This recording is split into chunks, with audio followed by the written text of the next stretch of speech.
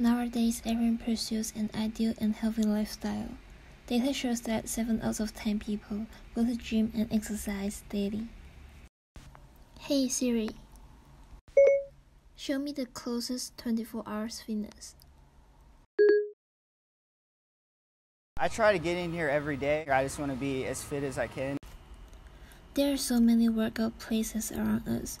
All the little detail in daily life keep reminding us don't be overweight.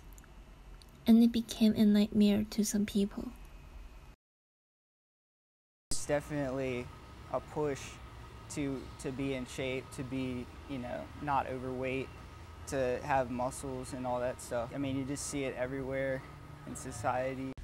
A journal statistic shows that at least 40 million people of all ages and genders suffer from an eating disorder in the US.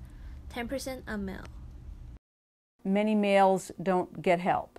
They consider it a female illness and they're ashamed to ask for help with it.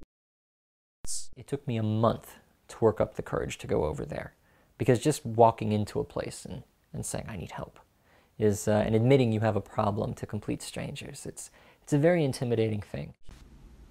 Data shows that brain changes when we starved, making it almost impossible to let the patient him or herself realize that they are not healthy. When an individual loses too much weight is they also lose too much weight in their brain. Brain can shrink by 25%. And that then can make you very obsessive and compulsive. Anyone with anorexia is going to become depressed.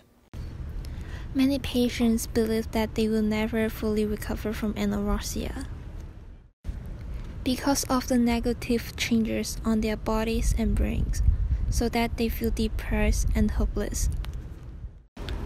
Many people might have this question in their minds Is it possible to recover from anorexia?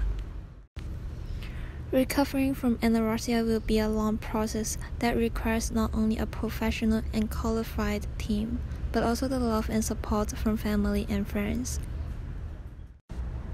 Dave is a patient who recovered from anorexia. And people say to me now, Are you over it? And I know that this is something I'm going to have for the rest of my life. But the real question is, can I deal with it? And I can deal with it now because I can talk about it.